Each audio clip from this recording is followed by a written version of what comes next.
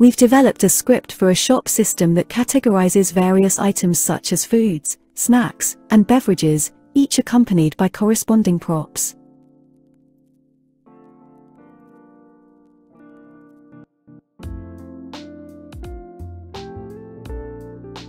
You have the flexibility to customize these items to your preference, and the system is equipped with a user-friendly interface, UI, for seamless interaction.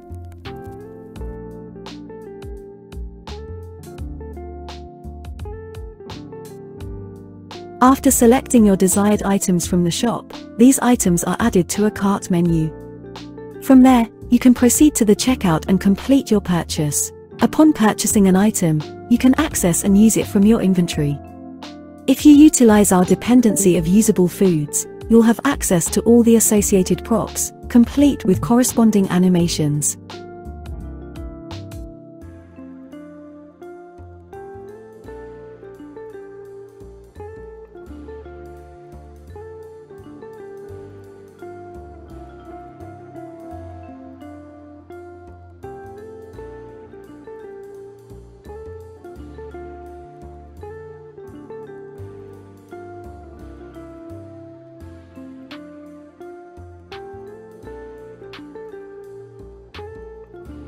You have the flexibility to apply this menu in any store according to your preferences.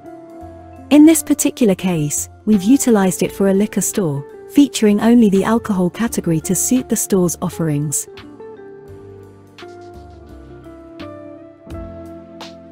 When you consume any type of liquor, the corresponding prop will be used, and you'll see a drinking animation.